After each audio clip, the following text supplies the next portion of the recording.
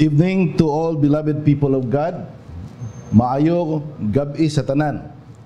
We are all blessed tonight because we are children of the living God who is our creator and source of life. Magapadayon kita sa pagtuon sa second night of our revival series entitled From Trial to Triumph, a promise of victory in the book of Daniel. Last night we have studied the topic when opportunity meets a responsibility, from which we learned five important lessons in chapter 1 of the book of Daniel. Let's review them. First, parents should not neglect the responsibility to their children. Mga ginikanan, dumdumo naton aton responsibilidad sa pagtudlo sa mga kabataan, ilabi na gid sa mga pulong sa Dios, sa mga tagnaanon nga mga butang panghitabo sining kalibutan agud maandam ang bugos naton nga panimalay sa pagbalik ni Ginoong Hesus. Second, consult God in every decision you make. Meaning to say sa kada uh, plano, mga desisyon naton aton gid konsultahon ng Ginoo. Mga muyo kita, mangayo kita sing kaalam, agud makahimo kita sang desisyon para gid sa kayuhan sang aton kabuhi, para sa kayuhan sang bugos naton nga panimalay. Ikatatlo, give God the glory in all your achievements. Meaning to say, sa tanan nga mga butang nga aton naangkon, aton naabot mga kauturan, ihatag gid naton ang himaya ang pagdayaw sa aton nga Dios kay siyang naghatag sa aton sing abilidad, kaalam, ibalo kag pangangop ag maabot naton ning tanan. Ikaapat, make God first and everything. Unahon gid naton ang Dios sa tanan nga mga butang nga aton ginahimo. And number five, be faithful and loyal to our God. Mga utod, handom naton. Nga kitang tanan mag-abot ang Ginoo. Maandam kita kay magasugata sa aton manluluwas nga si Ginoong Hesus. Kagyara na kita sa katapusan nga mga inadlaw. Ang kalantahon nagapahibalo sa aton nga the signs of the times is everywhere.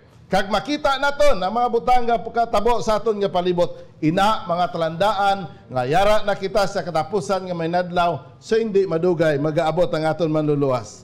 Hope those lessons will help us in our journey to heaven. Even as we face a lot of crisis, trouble, calamities, and storms of life. So tonight we will study the second topic of our revival series, which is entitled Arrogance versus Divine Justice. We will trace how the arrogant kings of Babylon want to believe the true God and God's dealing with the Babylonian Empire, which is as an illustration of the principle principles of his dealings of all nations. Series which is arrogance versus divine justice. We will trace how the arrogant kings of Babylon want to believe the true God and God's dealings with the Babylonian Empire, which is an illustration of the principles of his dealings of all nations. Mga utod, ang teksto na aton paga uh, pamandungan makita sa Daniel chapter 4 verse 17. The Most High rolleth in the kingdom of man and giveth it to whomsoever he will. Ang makagagahom labing mataas nga Dios nagagahom sa ginharian sang tao sa sining kalibutan kag siya nagahatag kung sino ang iya nga nagustuhan. Magapangamuyo kita gamhanan kag balaan nga Dios magapadayon kami sa pagtuon sang imo mga pulong kagabay pa ang imo balaan nga espiritu among magadihon sang amon mga panghuna kag tagipusoon nga amon gid ma uh, intindihan ang mga importante nga mga leksyon nga makapalig-on sa amon pagtuo, makahatag sang kadasig, kaga kabuhi sa amon pag-alagad sa imo sa sining katapusan nga mga nadlaw. Pakamayuhang mga kapaglaom, tanan nga mga kaabyanan nga nagapamati isang imo mga pulong, mga kauturan nga makugihon o kon mapisan sa pagatuon sang imo mga pulong sa kada gabi kabayang ang bugos nga pagpakamayos sang langit amon nga mabaton kag may mga sala kami pasayloha kami amay sa ngalan ni Ginoong Hesus. Amen. So salamat nga ang tanan naga padayon nga nagasubaybay sang aton nga series sang aton nga revival meeting. Aton mga tigulang sa iglesia, aton mga kauturan, mga opisyalis sa iglesia, aton mga pastors, kaga tanan nga mga manug pangabudlay, kag mga kaabyanan, mga kapaglaom nga kabay, samtang kita magapamati sa pulong sa Dios, mabato naton ang pagpakamaayo gikan sa langit. Ang ginharian sang Babylonia, bantugan nga ginharian, mga pinalangga nga utod amo ining nahuna nga ginharian nga nagdumala sa bugos nga kalibutan. Kag ang mga hari nga nagdumala sini nga ginharian ang una gid amo si Napobulasar sang 627 to 605 BC siya ang nagpangulo sini nga nga ginharian. Kag ginsundan siya sang iya nga anak nga amo si Bukadisar sang 605 to 562 BC pagkatapos sini ginsundan uh, sinabukad ni SARS ang iya nga anak nga si Ibel Merodak sa 560 to 560 BC kag ang sunod amo ang iya nga umagad nga si Niri, Niriglisar nga uh, bana sang iya nga bata nga babae sa 560 to 556 BC kag insundan ini nilabas si Marduk sa 556 BC kag siya ginsundan ni Naponidos another son-in-law of Nebuchadnezzar mga kauturan kag ang katapusan amo ang iyang anak nga si Belshazzar sa 553 to 539 BC. So tunaan naton mga kauturan ang duha ka mga importante nga hari nga nagdumala sa New Babylonian Empire nga amo si King Nebuchadnezzar kag ang katapusan nga hari nga amo si Belshazzar. Sino ini mga kauturan si Nebuchadnezzar?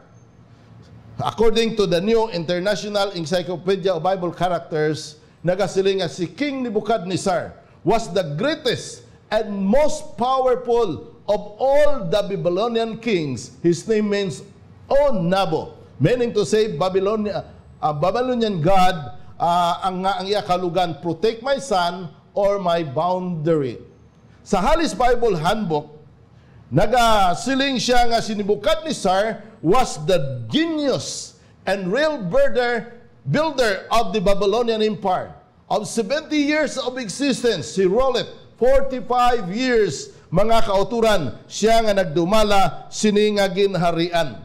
Si Napobulasar ang iya nga father amo ang viceroy sang Babylonia sa sang una nga panahon nga under siya mga kauturan sa pagdumalahan sang isa man kabantugan nga ginarian nga mo ang Assyrian sang 600 uh, 5 BC and uh, ruled the city.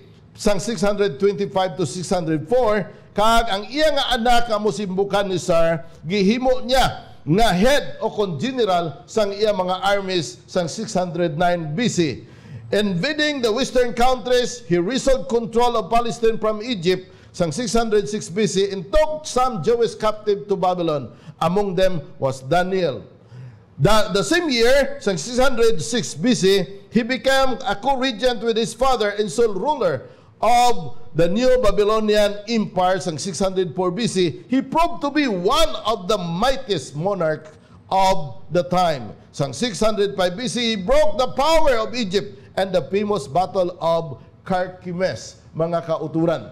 So makita naton nga ini siya nga hari mga utod amo ang nag-expand sang ginharian sang bugos nga Babylonia sa tapos nga napatay ang iyang father.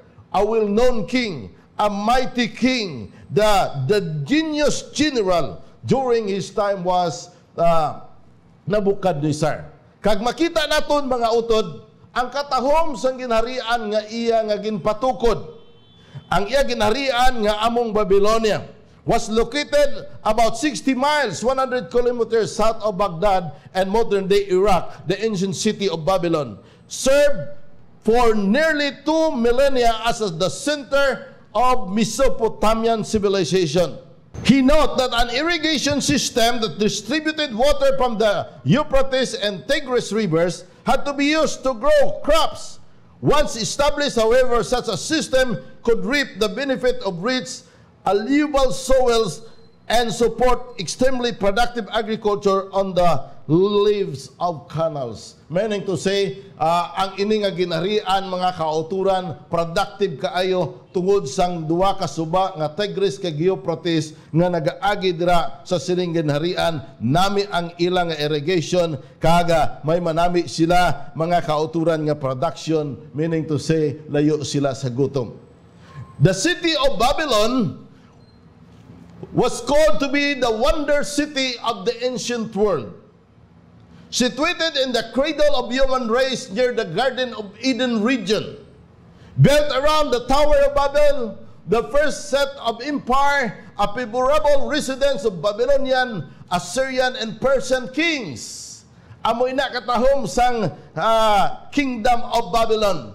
Ang iyang size ni the walls was 60 miles around, 15 miles on each side, 300 feet high, 80 feet thick, extending 35 feet below the ground so that enemies could not tunnel under.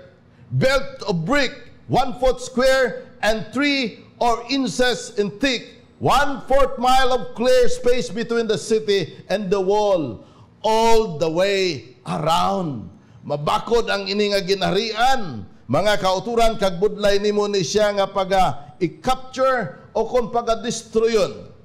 Ang iya nga security measures, the wall protected by wide and deep canals filled with water. 250 towers on the wall guard room for soldiers, 100 gates of brass. The city was divided by the Euphrates with both banks guarded by bricks, walls, all the way with 25 gates connecting streets and uh, ferry boats. One bridge of stone piers, one half mile long and 30 feet wide with drawbridges which were removed at night. There was a tunnel under the river, 15 feet wide, 12 feet high. Mga kauturan, katahom sang amo nga ginarian. Mabakod ang amo nga ginharian. Napalibutan sa madamol kag mataas nga wall, biskan pa underground uh, under mga kauturan nga mabudlay nimo taningal tanilan kun imo siya pagasudlon. Kay isa pagit sa matahong nga nga talan-ahon sa among gaganharian among the great temple of Marduk. Adjoining the Tower of Babylon or Babil during the ancient time was the most renowned sanctuary in all the Euphrates Valley. It contained a golden image of Baal and golden table which together weigh not less than 50,000 pounds. At the top were golden images of Baal and Ishtar, the chief gods of the Babylonian. Two golden lions, a golden table 40 feet long and 15 feet wide, and human figures of solid gold 18 feet high. Truly Babylonian was called the city of gold. When you read Isaiah 14 verse 4, the city was very religious because they have 53 temples and 180 altars to Ishtar. Wow! A very nice uh, uh, temple nga makita nimo didto sa ginharian sa Babylonia. Kag wala labot may ara pagid ginatawag nga Nebuchadnezzar Palace into which Daniel often went. One was one of the magnificent building ever erected on earth. The south walls of the throne room were 20 feet thick. North of them were more than 50 feet thick. A mile farther was the inner wall of the city, consisted of two parallel walls of brick 20 feet thick, 40 feet apart, with rubbles, total thickness of 80 feet, with deep canal on the outside and outer wall. The city was impregnable.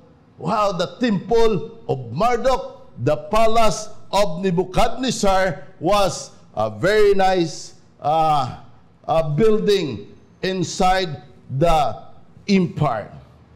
Wala labot mga utod, may ara pagid ginatawag nga the hanging gardens of Babylon were one of the seven wonders of the ancient world built by Nebuchadnezzar for his Median queen Amethyst beautiful daughter of Shethziris who had helped his father conquer Nineveh. Mga utod, siring sa uh, traditional nga mga historian nga sang na pa nalutos sa nga Babylonia ang Nineveh ginbuligan sila sang hari sang Media. Agod bag nami pagid ang ila nga relationship ang bata sang Midian king nga amo siya si siya Sires nga ang iya nga bata nga babae amo si Amethyst ginpangasawa ni Bukadnezar. Tungod kay dito sila sa city sa Babylon, makita niya ang iyang asawa nga masinulobon tungod kay dito sa Midian, damo man kaayo mga kahoy, damo kaayo mga tanom. So gani ang iya ginhimo tungod sa iya nga uh, gugma sa iyang asawa ginpahimuan niya sang hanging garden of Babylon. Agod nga daw feel at home ang iyang asawa kag malipay ang iyang asawa nga magpakigupod sa iya sa mo ginharian. Mga kauturan, amo ina kabantugan ang hari sang Babylonia sang una nga panahon. Amo ina kabakod kag katahom sang ginharian sang Babylonia sang una nga panahon. Kani samtang kita magatuon sining sinulatan sa isa ka bantugan nga propeta nga amo si Daniel. Mga utod, kwaon naton ang mga importante nga mga leksyon nga makapalig-on sang aton pagtuo kag magapabuhi sa aton nga pag-alagad sa Ginoo sa sining katapusan nga mga inadlaw. Nauna nga leksyon nga aton pagatunan nga makita sa chapter 2 sang Daniel amo ini mga utod lesson sa chapter 2 sa Daniel. Kagkabay pa ipahamtang ini sa aton panguna-una nga God is in control of the affairs of this world. Nga ang Dios amo ang nagakontrol sa mga kahili, ka, mga buluhaton sa bugos nga kalibutan. Yari, ang isa kabantugan nga hari, nagahuna-huna kung paano pag hindi mapauswag, mapaligo na niya ginharian, biskan pa sa katahom na sa iya ginharian kagkabakod na. Gani sa kagabihon mga utod, ang Ginoo nagdisturbo sa iya pang nahuna naghatag sang isa kadalang guhanon nga nakapalibog sang iya nga pangunahuna according to Daniel 2 verse 12 For this reason the king was angry and very furious and give the command to destroy all the wise men of Babylon. Why? Sa dirangas siya nagdamgo mga kauturan, ginpatawag niya ang tanan nga mangin alamon sa bugos nga ginharian ang mga magician, ang mga astrologers, ang mga sorcerers, kag ang mga Chaldeans, agud nga masaysay kung ano ang kahulugan sa yadamgo kag ano ang yadamgo nga nakapalibog sa iya panguna-una apang wala gid sila mga kauturan nakasaysay kag nakasugid sang damgo sang hari kay siling sang mga Chaldean siling niya sa sa hari there is not a man on earth who can tell the king's matter. Therefore, no king, lord, or ruler has ever asked such things of any magicians, astrologer, or Chaldean. It is a difficult thing that the king requests, and there is no other who can tell it to the king except the gods whose dwelling is not with men, with flesh. Mga kauturan, amo ng rason nga siya na akig kag siya mga kauturan naghatag sa decree nga all the wise man should be killed. And Daniel chapter 2, 14 verse 15. Then with counsel and wisdom Daniel answered to Arioch, the captain of the king's guard who had gone out to kill the wise men of Babylon. He answered and said to Arioch, the king's captain, Why is the decree from the king so urgent? Then Arioch made the decision known to Daniel. Kani siling ni Daniel, pwede mo bala ako updan? Makadto kita dito sa hari, kay mangayo ako sa iya sang uh, time nga kung pwede tagaan niya ako sang panahon nga sa diin akon matun-an kag baga isay-say sa iya ang kahulugan sang iya nga damgo kag ano iya gindamgo. Gani mga utod, nagkadto sila kagin tugutan sa sanghari, kag kita nakabalo sang istorya. And after that when you read Daniel chapter 2 16 to 19, si Daniel mga kauturan naga uh, tawag ukon sang nakita niya ang iya tatlo ka mga abyan iya inigin agda kag sila mga kauturan nagsiling siya may ara decree ang hari nga all the wise men should be killed tungod kay nagdamgo siya and nobody can explain his uh, his dream. Gani mga muyo kita. Mga kauturan siling ni Daniel, magpangabay kita sa aton Dios sa langit nga tagaan kita sing kaalam kag ipabalo sa aton kun ano ang kahulugan sa damgo sang hari. Siling dire sa Daniel chapter 2, 16 to 19. So Daniel went and asked the king to give him time that he might tell the king the interpretation. Then Daniel went to his house and made the decision known to Hananiah, Mishael, and Azariah, his companion, that they might seek mercies from God uh, of heaven concerning the secret so that Daniel and his companion might not perish with the rest of the wise men of Babylon. Then the secret was revealed to Daniel and a night vision so Daniel blessed the God of heaven. So isa sang mga kinaiya niya nga ato natunan sa nagligat. Nga every time mga kauturan kung maghimo sila sa mga decision ilabi na gid mga kauturan kung may mga problema nga kinahanglan nila mga kauturan nga tagaan sa solusyon kinahanglan una gid magpalapit sila sa Ginoo Nagamuyo sila. Kag ginanan amo man ang ato dimon. Every time maghimo kita sa decision, kung may mga problema nga nakadisturbo sa aton pangabuhi, sa aton pag-alagad, we need to kneel down. Be together with all the members of the family. O kon mga faithful nga mga kauturan, kag mga muyo kita sang tingob, agod nga maangko naton ang kaayo pagpakamaayo sa Ginoo. Mga utod na lipay kita, Gabiskan pa ang bugos nga kalibutan ginadisturbo sang coronavirus, sang COVID-19. Apang nalipay kita nga may madamo kita nga mga workers, madamo kita nga mga uh, tigulang sa iglesia, mga diakono, kag diakonisa, mga church officers, kag mga members nga faithful nga mainampoon sa Ginoo. Damo ang mga request, mga kauturan naton nga nadisturbo sa coronavirus, mga kauturan aton gindala sa pangamuyo. Amo ina ang pinaka the best nga butang nga atong pagahimuon because only God can give us the the right solution.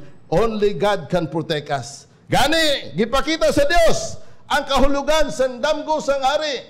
Kaga mga kauturan ang gihimo ni Daniel, gindayaw niya ang Ginoo, gipasalamatan niya ang Ginoo tungod kay ang Dios amo ang source sang kaalam, ihibalo, kag paghangop nga nagahatag sa ila bisan pa sa mga sikrito o kung mga butang matabo sa sining kalibutan. Daniel 2.23 And thank you and praise you, O God of my fathers. You have given me wisdom and might, and have now made known to me what we ask of you, for you have made known to us the king's demand.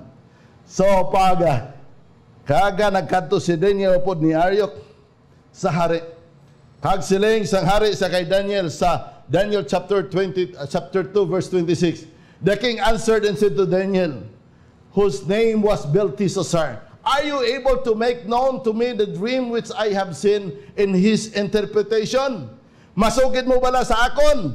Siling ni Daniel, mga kauturan, mahal nga hari, wala sang makahatag sa imo, sang kasaysayan, kag sang damgo, nga masaysay ini sa mangin alamon sa bugos nga ginharian.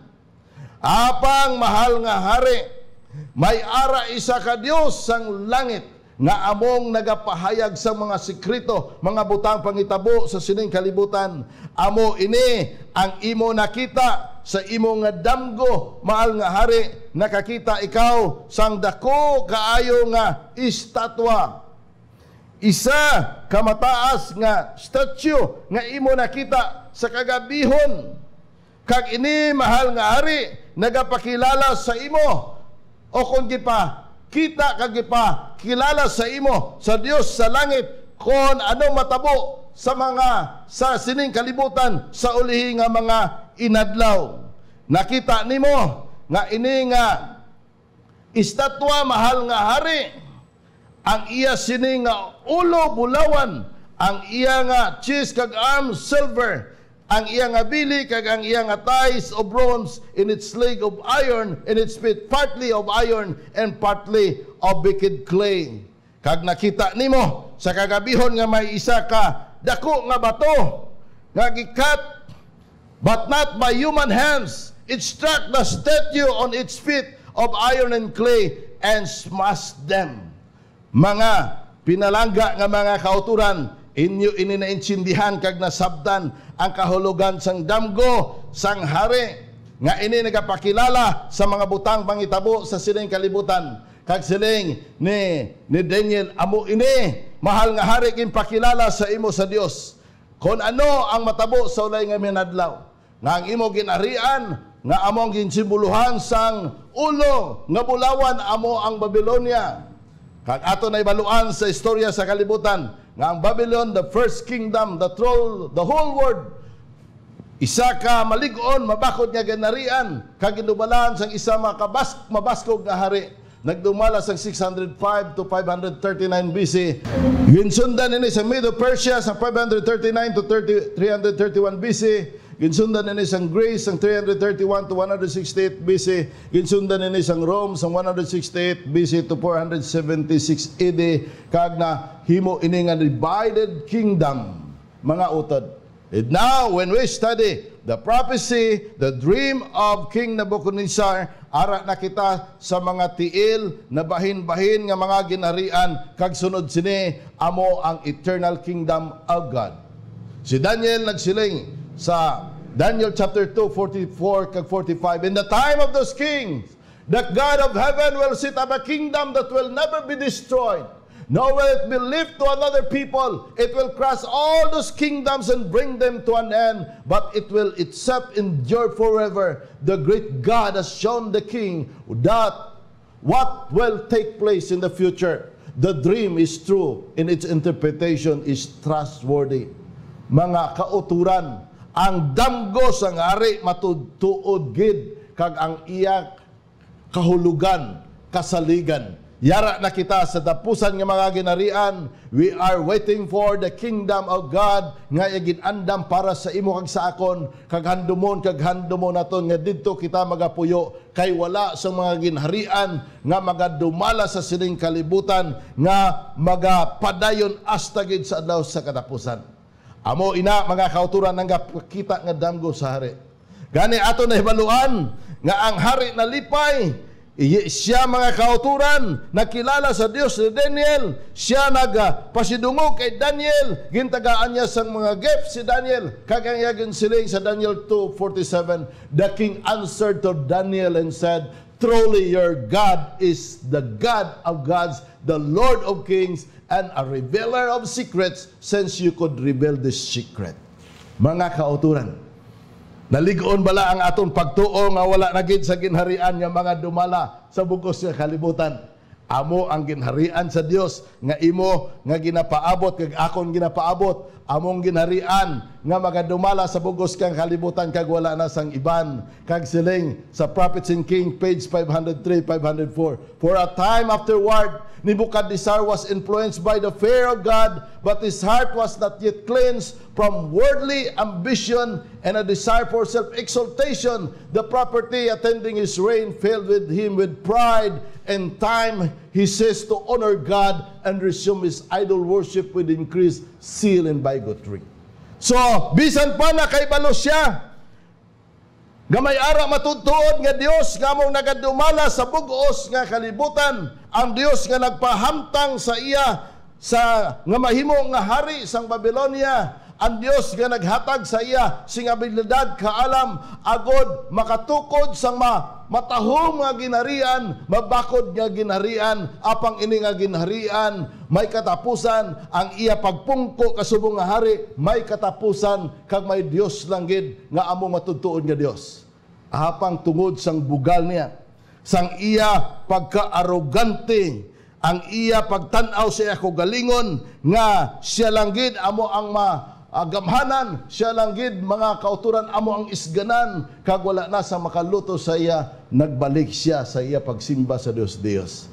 Kung basahon ninyo ang Isaiah chapter 46 9 to 10 mga utod nagapakilala diya nga ang Dios siya ang ginsuguran siya man ang katapusan mga kauturan nakahibalo kita nga ang tanan nga mga butang himuon niya suno sa iya mga tinutuyo. Kaya kung basahon nato ang Psalms 46, 9 to 10, nagasiling dira nga wala na san Dios nga iban nga atong pagalagaron kag pagkakilalahon kundi siya lang gid ang Dios nga nagtugas ang langit sang kasanduta. Pauntaton niya ang mga inaway. pauntaton niya ang mga nasod sa bugos nga kalibutan kay patukod niya ang iya matahom nga ginharian. Gani tungod sinang bugal nga ara sa tagipusoon ni King Nabucodonosor mga kauturan sa iya pagkabalo nga nagsiling si Daniel, Thou art this head of gold. Ikaw amo ang ulo nga bulawan, mga pinalangga nga mga kauturan. Kag dira mga utod natandog ang iya tagipusoon sa bagay mga kauturan nga ang iya mga mga sakop nga mga mga maalaman nga mga tao ang iya mga advisor nagsiling sa iya mahal nga hari agod nga ang imo ganharian maga tindog ini nga wala sa wala sing katubtuban suno sa damgo kinahanglan ang statue nga imo nakita. Himuon naton nga bulawan tanan.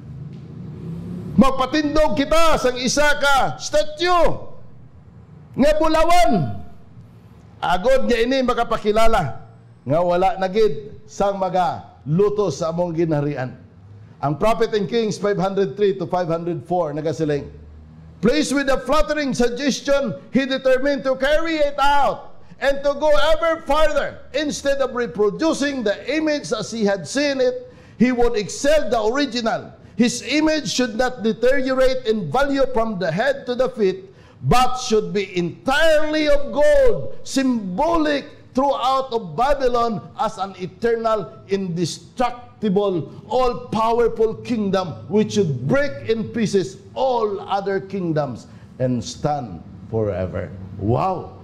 Tawhanon nga balatyagon, tawhanon nga pangunahuna, mga kauturan nga gahuna-huna siya nga ang iyang adamgo ang kahulugan maliwat niya gusto niya makigkuntis sa gahom sang langit o kon sa Dios nga nagtugas sang langit kay sanduta. Kagani ang ginhimo mga kauturan. Amo ini ikadua nga leksyon nga aton ma tunan sa aton nga pagtuon karon nga gabi kag indi ninyo pagkad pagkalimti ini ang leksyon nga makuha naton sa Daniel chapter 3 Everything in this world is just temporary but heaven is eternal. Butang ina sa inyo pangunahuna.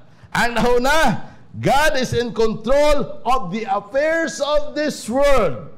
Walay mga ginharian nga maga dumala sa bugos nga kalibutan nga hindi malumpag kundi ginharian ng sa Ginoo ang masunod nga ginharian sa nagbahin-bahin nga ginharian.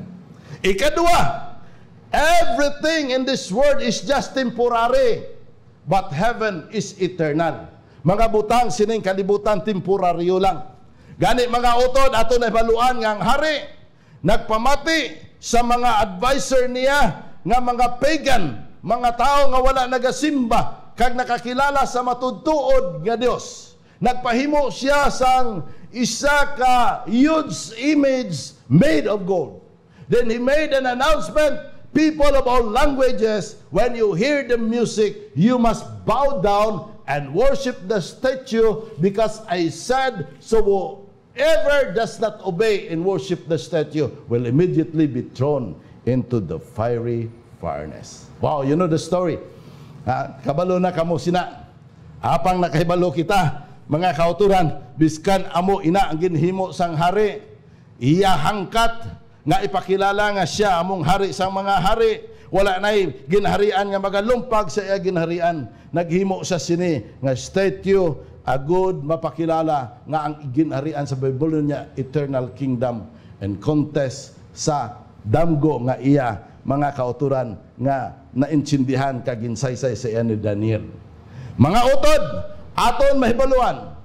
Nga sa Daniel chapter 3 4 to 6 nagsiling Then a herald cried aloud to you, it is commanded.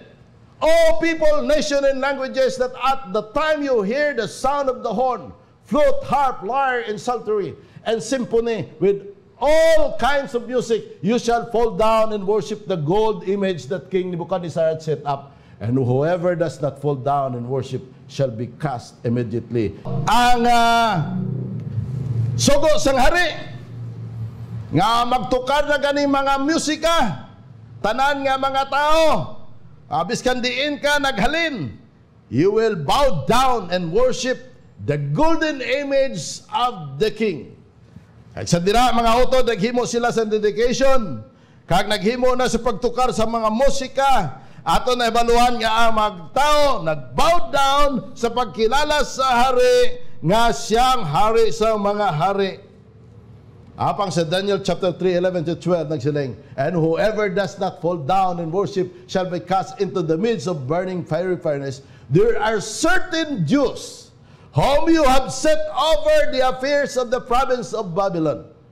Shadrach, Meshach, and Abednego. This man, O king, have not paid due regard to you. They did not serve your gods or worship the gold image which you have set up. Yari ang iya mga reporter, nag-report sa iya, mahal nga hari, may mga Hudiyo nga gikan ini sa Hoda nga ini sila ginhimo nimo nga mga tulugyanan sa probinsya sang Babylonia.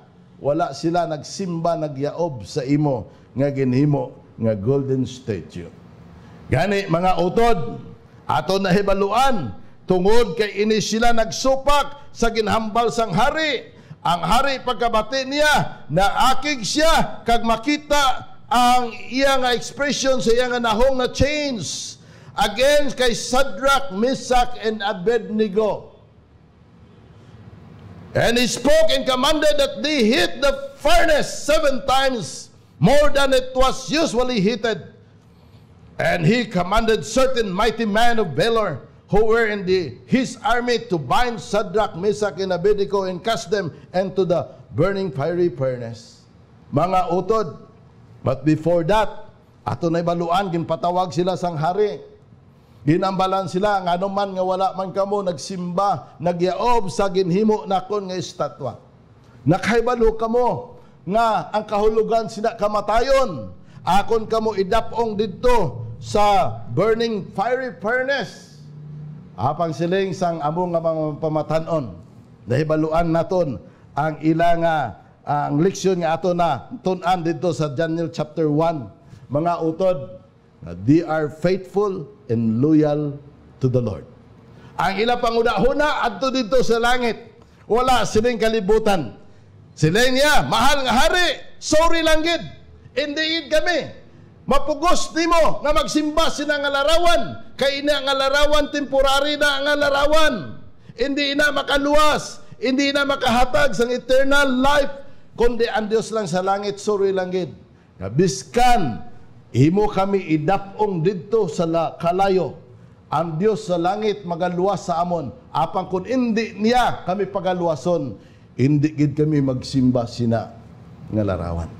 Mga utod, is a challenge, isa ka pagtilaw, nga kinahanglan naton atubangon.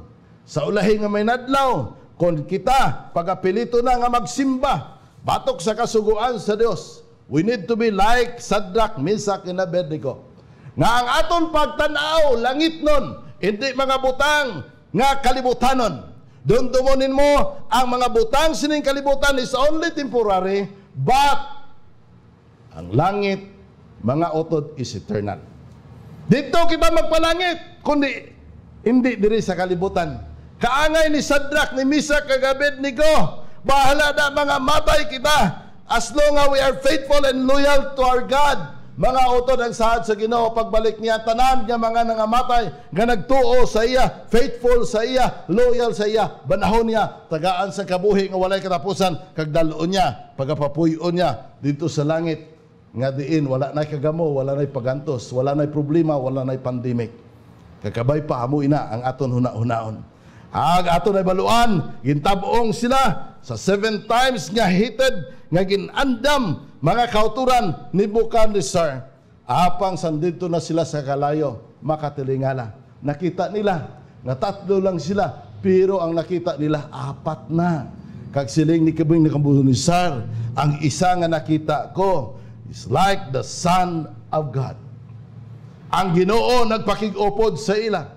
Wala sila nasunog. Kagipakita sa Dios ang yagahom sa kay King Nebuchadnezzar. Ikadua nga mensahe nga gipakilala sa iya nga ang Dios ang langit gamhanan kag balaan Dios nga makagagahom nga hat, makahatag proteksyon sang iya mga katawhan, mga pinalangga nga mga kauturan. Gani si King Nabucodonosor. Sa iya nakita nagsiling siya sa Daniel chapter 3, 28 to 29. Mukha spoke saying, Blessed be the God of Shadrach, Meshach, and Abednego, who sent his angels and delivered his servants who trusted in him, and they have trust prostrated the king's word and yielded their bodies that they should not serve nor worship any God except their own God. Therefore, I make a decree that any people, nation, or language which speaks anything amiss against the God of Shadrach, Meshach, and Abednego shall be cut in pieces, and their houses shall be made an ass heap, because there is no other God who can de- deliver like this. Wow! Mga utod. Inyo bala, nabatyagan, kag nakilala ang matudtuod nga Dios nga aton ginaalagad. More than any gods in earth. Si Nebuchadnezzar na insindihan niya, nahibaluan niya nga ang Dios ni Daniel, Sadrak, kag ni Besa, kag Abednego, matudtuod gid nga Dios nga makaluwas, makahatag sa ila sa protection. Gani mga utod, kabay pa, aton gid ibutang sa aton pangunahuna. Mga butang sa kalibutan, temporaryo lang. Apang ang mga butang sa langit is eternal. Hando mo nato ng langit. Daugo nato ng mga pagtilaw nga nagaabot sa aton kinabuhi sining kalibutan kahangay ni Sadrak ni Meshach kag Abednego. Kadto ta sa ikaapat nga leksyon o kung ikatatlo nga leksyon nga aton mga kauturan matun-an sa aton pagtuon sa riblo sa Daniel sa Daniel chapter 4 remember this. Pride goes before destruction. Aton na baluan nakita na ni King Nebuchadnezzar naintindihan niya ang damgo niya ang kahalugan sini. Nga pa mga utod gin contest niya ang Ginoo. Nagpaimo siya sang larawan nga puraw tanan bulawan. Kay sila niya, wala na gid sang makalutos sa akon. Apang mga utod gipakilala siya sa Dios nga wala nay gamhanan nga tao sa kalibutan nga makaparehas ang gahom sa Ginoo. Ang Dios lang sa langit nga nagtugas ang langit sa duta among gamhanan nga Dios. Apang mga utod aton na baluan diri sa chapter 4 nga samtang si Nabucodonosor nagkatulog nagdamgo siya nakita niyang isa ka kahoy nga taas kaayo abot nito sa babaw kag nakita niya ang uh, madabong niya nga mga mga dahon nga ginahulunan sa mga kapispisan mga kauturan kag ini nga damgo mga utod nagpalibog sa iya nagtawag siya sa mga inalamon nga mga tao sa bugos nga Galilean to uh, explain kung anong kahulugan sa damgo but nobody can explain. But only Daniel, ang anak sa Dios dito sa ginarian sa Babylonia. Amo lang ang nagsaysay sa iya sang kahulugan sa iya nga damgo kag mga kauturan. Kung atong basahon ang Daniel 4:28 kag 33. So all this came upon King Nebuchadnezzar At the end of the twelve months, he was walking about the royal palace of Babylon. The king spoke, saying, It is not this great Babylon that I have built for a royal dwelling for my mighty power and for the honor of my majesty. While the word was still in the king's mouth, a voice fell from heaven, King Nebuchadnezzar, to you it is spoken, The kingdom has departed from you and they shall drive you from man, and your dwelling shall be wed the beasts of the field. They shall make you eat grass like oxen, and seven times shall pass over you until you know that the Most High rule and the kingdom of man, and give it to whomsoever chooses. That very hour the word was fulfilled concerning Nebuchadnezzar. He was driven from man and eat grass like oxen, his body was wet with the dew of heaven till his hair had grown like eagle's feathers and his nails like birds' claws. Mga utod, ato na baluan, Sila hindi mo kan Burisar, biskan amo na to gipakita sang Dios sa iya. Naguna-huna pagid siya samtang nagatanaw sa katahom sang ginharian niya gintukod. Hindi bala ini nga ginharian nga akong gintukod. Isa ka mabakod nga ginharian nga ini amo ang ginharian nga napunan sang gahom kag pagpasidungog. Kita nimo ang iya nga pagka atikalon, pagka-arugante, ang bugal nga ara sa tagipusoon. Apang sila sa Dios. Okay, King Nebuchadnezzar. Ah, baga ah, mahimo ka nga daw ah, sapat nga baga kaon sang mga hilamon. Kung aton mga tanahon, mga kauturan aton kaugalingon, dumdumon naton kung ara kita pagka matinas taason, may bugal kita sa aton kaugalingon. Pasidunggan aton aton kaugalingon sa mga accomplishment naton, mga butang nga aton nga naabot. Kaalam gahom nga ara sa aton inang tanan mga utod magadulong ina sa atong kalaglagan. Apang I like you know sa gugma sang Ginoo kay King Nebuchadnezzar. Tagaan niya sang leksyon. Imagine, seven years nga mahimo ka nga daw sapat, ikaw nga nagakaon sang ilamon, bantugan nga hari, hari sang pinakabantugan nga ginharian, mahimo nga daw isa ka sapat nga nagakaon sang ilamon sa sulod sang pito ka tuig. Mga kauturan doon dumo ninyo. Sa Proverbs 8.13, the fear of the Lord is to hate an evil pride, arrogance, an evil lifestyle and perverted speech, mga kauturan, ginakaugtan ina sa ginoo. Natong pa, kuhaon naton ang bugal, kuhaon naton ang pagkamatinastaason, ang pagka atikalon, kag iban pa nga mga butang nga hindi mayo sa aton kabuhi. Kay ang bugal, mga kauturan, kag ang pagkamatinastason magadulong ina sa aton kalaglagan. Dundumo naton ang natabo sa kay King Nabucodonosor. Sa bagay si Daniel nagsiling sa iya before mga kauturan siya o kung after siya nga nagdamgo sang among nga kahoy nga taas kaayo nga ginutod ini nga nagisimbolo sa iya kabuhi. Siling ni Daniel sa iya sa Daniel chapter 4 verse 27. Therefore, O King, let my advice be acceptable to you break off your sins by being righteous and your iniquities by showing mercy to the poor. Perhaps there may be a lengthening of your prosperity. Pamati ako, akong advice sa imo, bato na ini. Ha? Biyayi mo sala, pagtanaw sa imo ko galingon, being righteous, nga ikaw nang gid amo ang matarong amo sakto. Ang imo mga kalautan, ang imo pagdaog-daog sa mga pigado, Kay kun imo inaipuon pagkataason pagid ang sa Ginoo ang imo pagka uh, pag-uswag. Ahapang wala sa namate. Kag amo ina ang natabo sang gitan-aw niya. Sabi niya hindi bala inihing Babylonia nga ako gitukod. Ang bugal, ang iya pagkamatinas taason budlay makuha sa iya tagipuson. According to one writers from Supreme Monarch Nebuchadnezzar was to be reduced to the society of damp beasts to eat as they eat and to lodge with them under the open sky. His brilliant intellect was to be reduced to instinct processes of their extremely limited minds. Could pride take a greater humble? Kaya sa tapos, nga iya na na-experiensyahan ang kinabuhi nga daw parehas ang isa kasapat.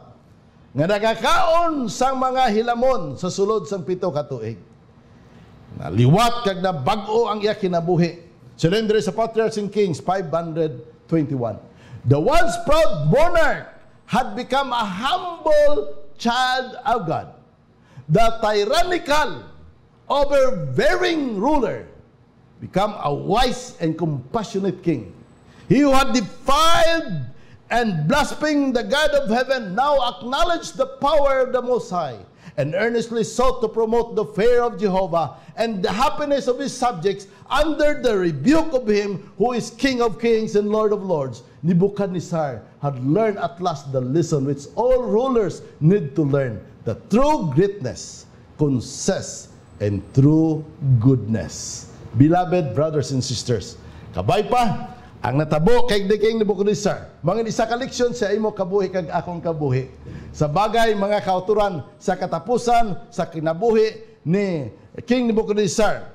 Nagsiling siya sa iyagid nga pagsulat. I Nebuchadnezzar lifted up my eyes to heaven, and my understanding returned to me, and I blessed the Most High and praised and honored him who lives forever.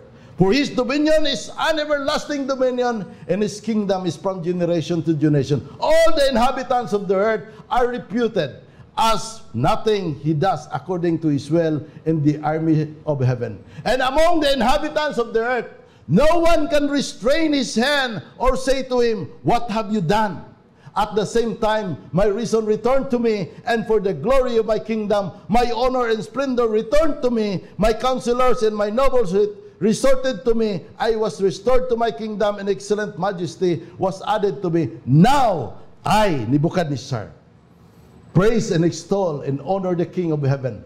All of whose works are truth, in his ways justice, and those who walk in pride, he is able to put down.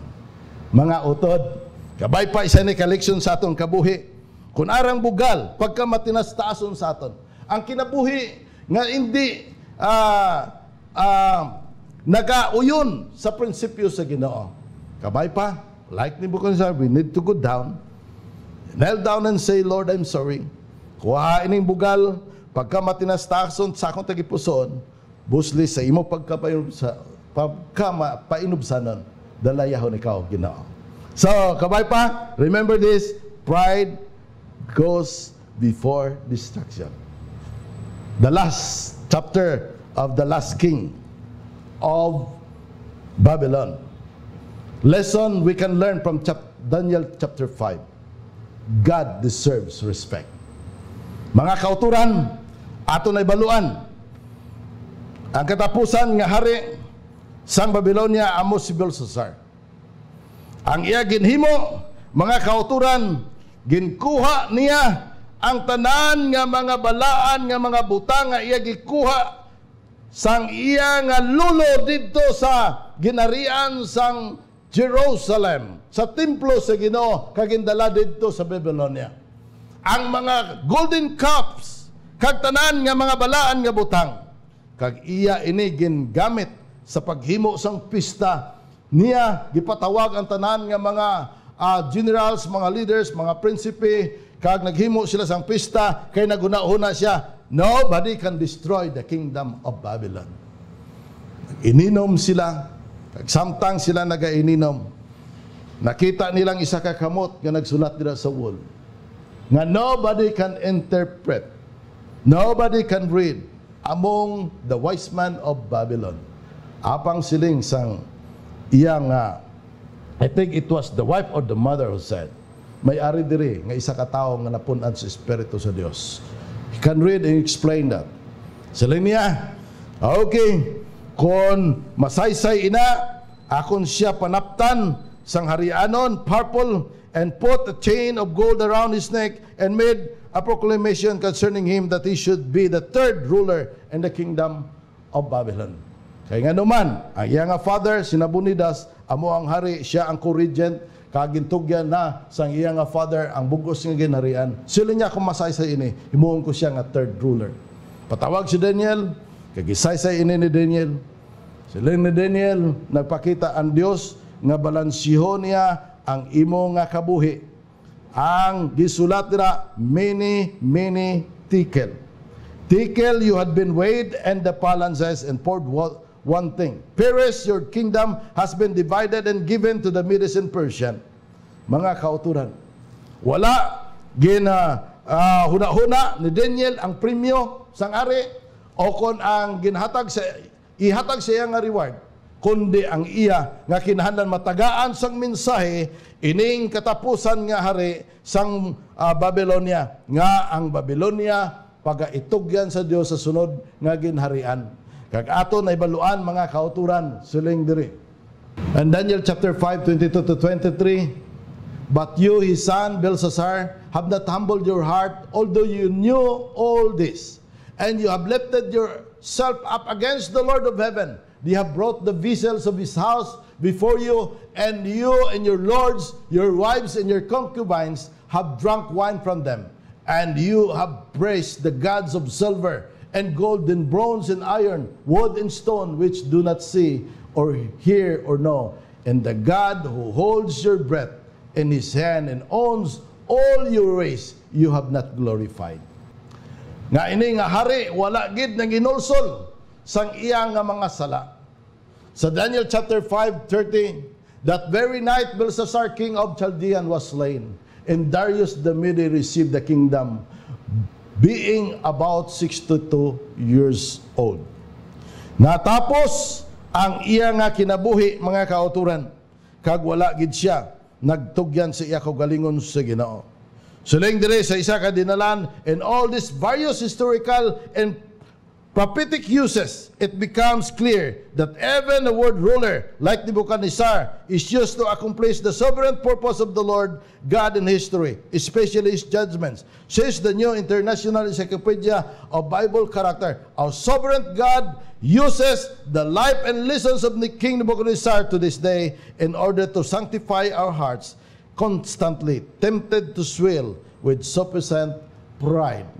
Mga utod, through the our life, we are brought face to face with our own mortality and human frailties. No matter how brilliant, successful, and godly we are, God still reign. We are not in control of the word and the way He has it set to spin. However, if we can use Nebuchadnezzar's life, consumed with pride and destruction, He can surely use ours.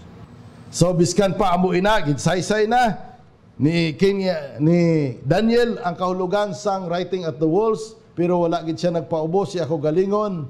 Mga kauturan wala siya nagilulsol sa bagay nga sila nagpadayon sang ilang mga ano ni.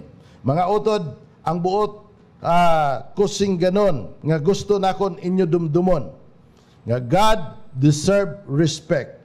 We need to respect and honor God's holy things. Take care of your body because our body is the temple of the Holy Spirit and our body is holy. Aton proteksyonan sa mga butang nga maka makadagta sa bagay nga 1 Corinthians chapter 10 verse 31 nagsiling kung ano ang imo ginainom, anong imo ginakaon, anong imo ginabuhat, buhatang tanan sa paghimaya sa ngalan sa Dios. Take care of our body. Take care of God's house because the house of God is holy. Balay sa Ginoo mga kauturan aton atimanon, aton nga uh, pagatinluan, aton nga pagahalungan kag respetuhon because the house of God is holy. Keep the Sabbath holy. Atong bantayan ang adlaw nga balaan, tungod balaan ini nga adlaw. Sa tanan nga mga adlaw, gitagaan kita anom ka adlaw nga magpangabudlay. But the seventh is the Sabbath of the Lord. We need to keep the Sabbath holy. It is in the fourth commandment, the heart of the commandment of God. Don't rob God and tithes and offering that is holy unto the Lord. Hindi nyo gamita nga hindi kita gitugutan sa paggamit sini. Ang Dios lang amo ang mga guidelines kung paano ini gamiton. We need to return our tithes and give our free offering to the Lord because this is holy. Don't rob God and and respect God's anointed because they are holy unto the Lord. Ang mga ginhaplas sa Ginoo, mga kauturan aton sila respetuhon kay mga balaan sila nga katawhan sa Dios. God deserve respect.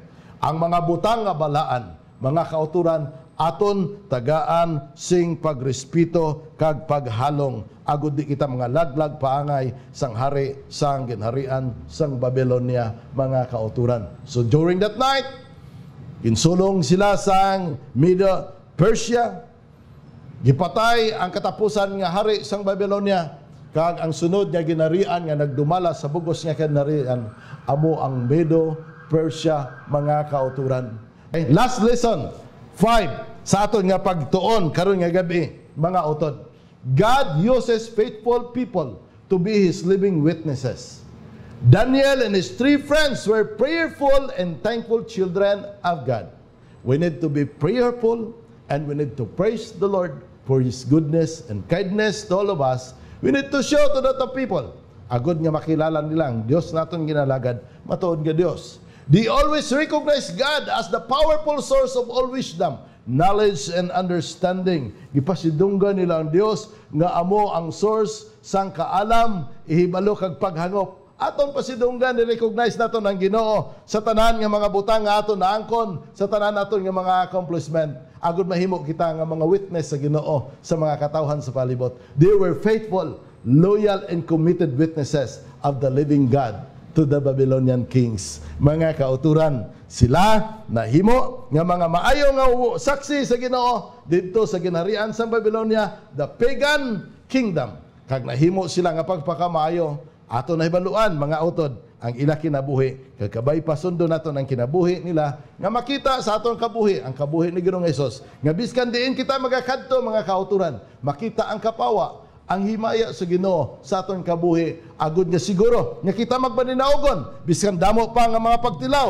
damo pa nga mga crisis nga magaabot sa aton kabuhi. Handumon kag handumon naton ang pagbalik sang aton nga manluluwas nga si Ginoong Hesus. Sa sining kalibutan nga aton ginapuyan so kabayan Dios magapakamaayo sa aton karon nga gabi dumdumon naton ining lima ka mga leksyon nga aton natunan first God is in control of the affairs of this world Remember Daniel chapter 2. Everything in this world is just temporary, but heaven is eternal. Chapter 3 of Daniel. Pride goes before destruction. Chapter 4 of Daniel. God deserved to be respected. Daniel 5 of Daniel, mga kauturan. And lastly, God uses faithful people to be His living witness. Mga kauturan, aton nga takpan ang aton pagtuon pinagi sa pagpangamuyo gamhanan kag balaan nga Dios ikaw ang Dios nga may gugmaon maluluyon makagagahom nga Dios nga naga uh, pasaylo sa madamo namon nga mga sala Dios nga nagahatag sa amon sing kalig-on kadasig kag inspirasyon sa pagalagad. Sa tunga sa mga kagamo mga pagtilaw mga mga crisis nga nagaabot sa sining kalibutan. Bisan pa sa mga bagyo nga magaabot sa among kabuhi wala nimo kami ginapabayan. Nga as nga kami faithful loyal sa imo matinumanon sa imo mga pulong matinumanon sa imo mga kasuguhan sa gihapon ng pagpakamaayo sa langit amon nga maangkon amon mabaton samtang kami nagapadayon nga ginakakinabuhi sining kalibutan. Gani Ginoo karon nga gabi pakamayuwa ang mga kapaglaom mga kauturan.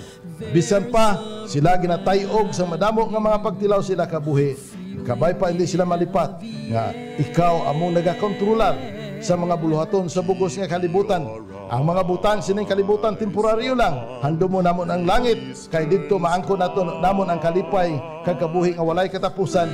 Huksa ining mga bugal kahisa pagdumot pagkamatinas-tason sa among tagipusoon musli sa pagkamapainubsanon. Kag buligi kami nga magrespeto maghatag sa imo sing pagpasidungog sa imo sang himaya sa mga butang nga balaan nga dapat namon pagkahalungan amay.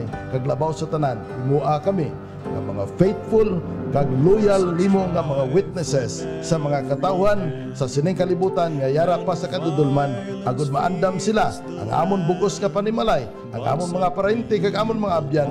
Sa pagbalik ni Ginoong Hesus magaupod kami sa iya sinang mataw nga puloy-an sa langit. Salamat sa imo pagpakamayo Ginoo. Salamat sa imo mga pulong amon natunan. Kabay ikaw magahatag pagit kamo sa madamong kaginan nga magpadayon sa mga pagtuon. Sa sulod sang dusi ka mga gabi ining tanan akon ginatugyan sa hamili nga ngalan ni Ginoong Hesus. Amen. So mga utod, padayon kita sa pagtuon, Boston anaton from the treasure house of the unbelievers. The times are everywhere. There's a brand